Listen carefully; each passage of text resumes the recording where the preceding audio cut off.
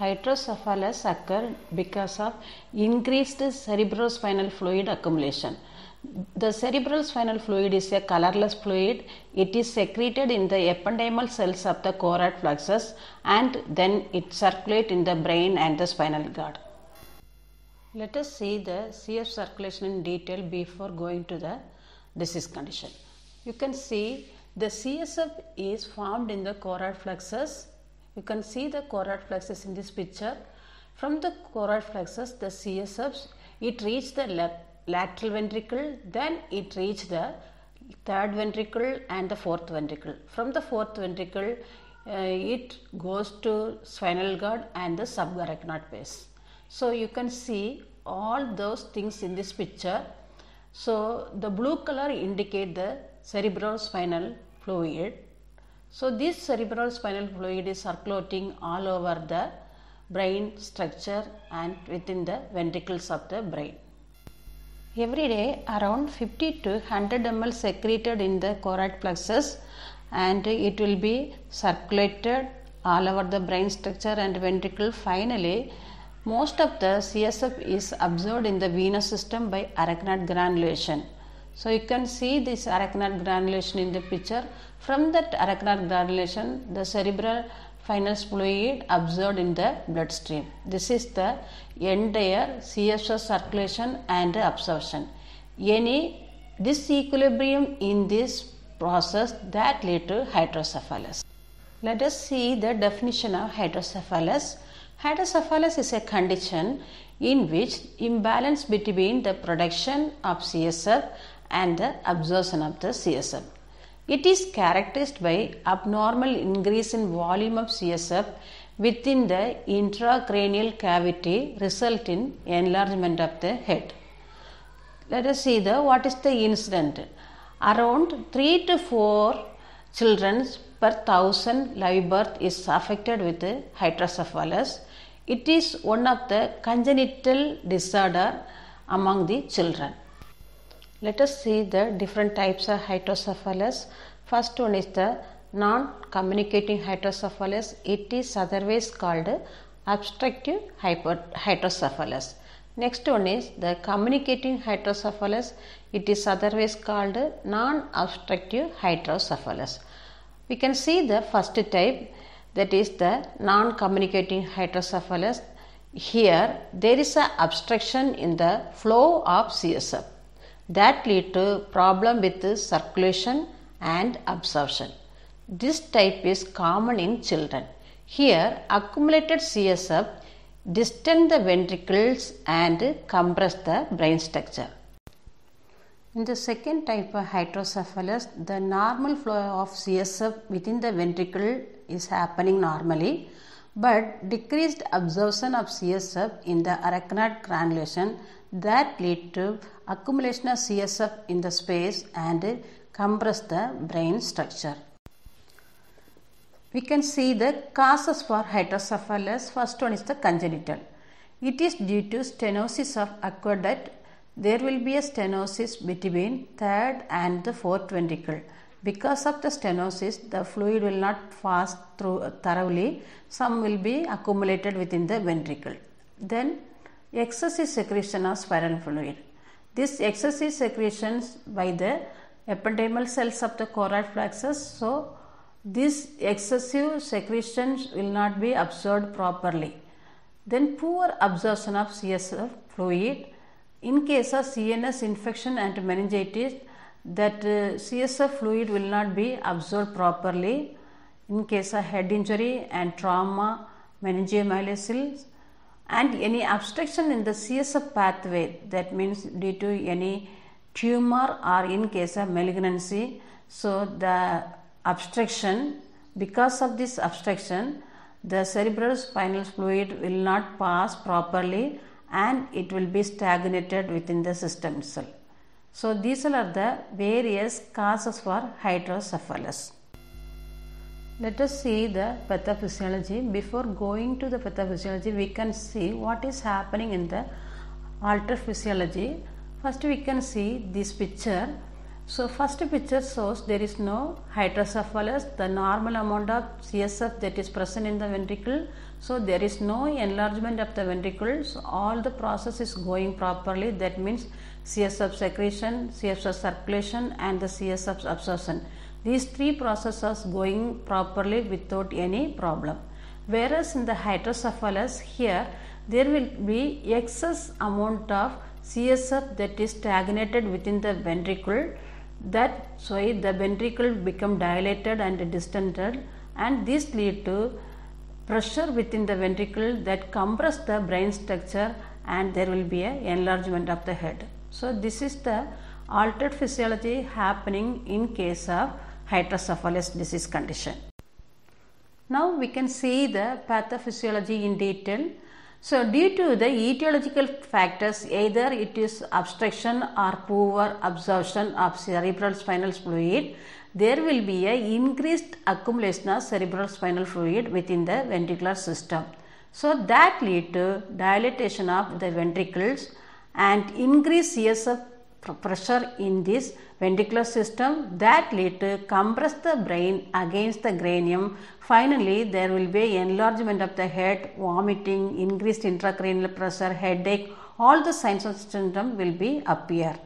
This is the main pathophysiology of this hydrocephalus.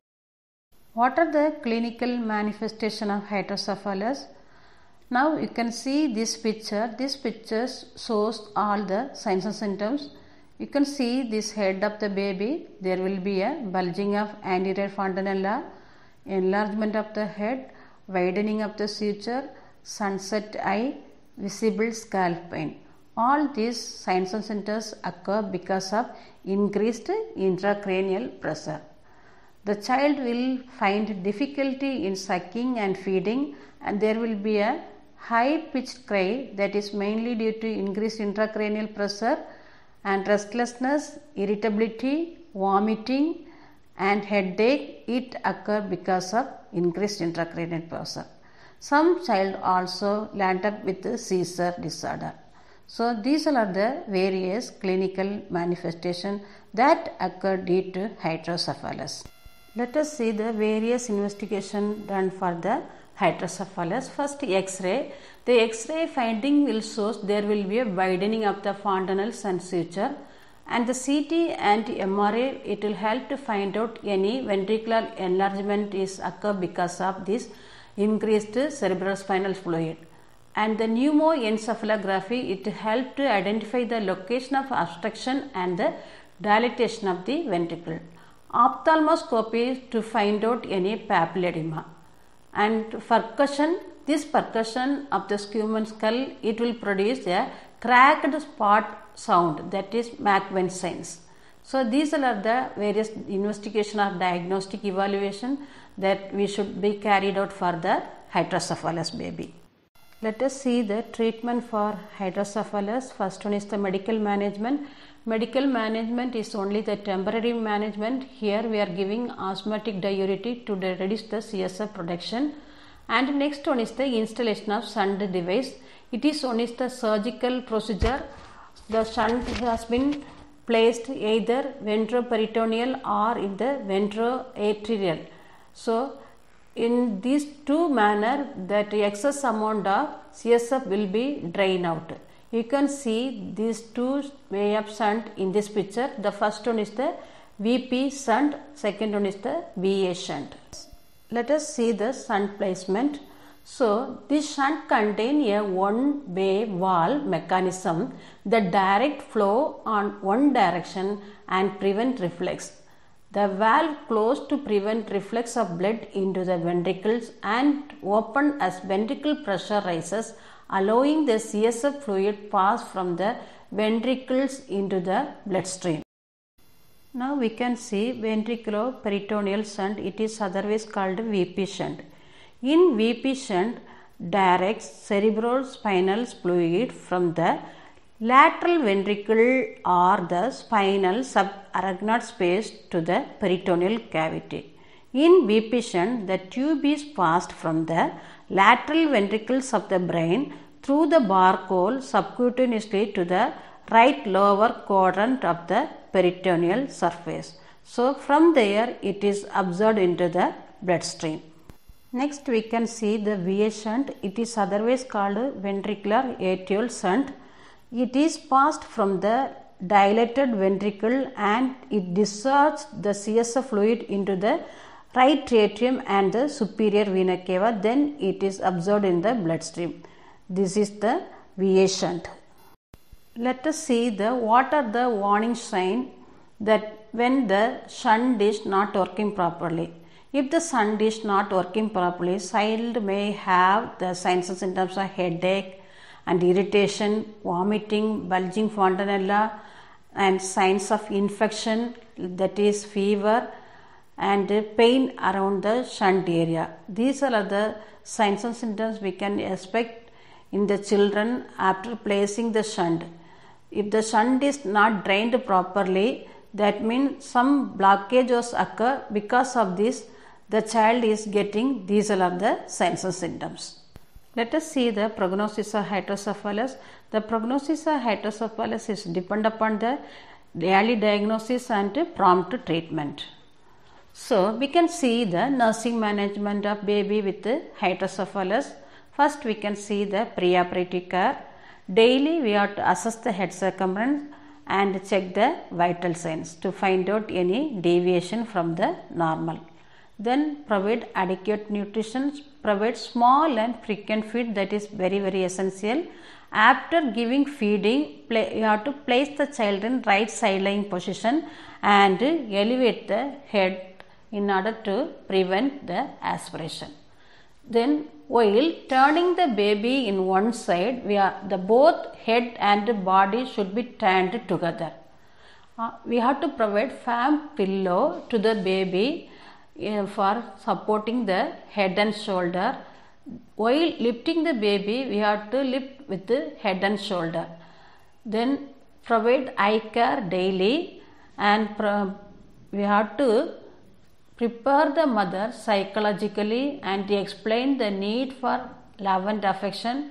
We have to properly explain the disease condition also. Let us discuss the post-operative care of baby with hydrocephalus. Check the vital signs everly too early and record it and elevate the head of the baby at 30 degree.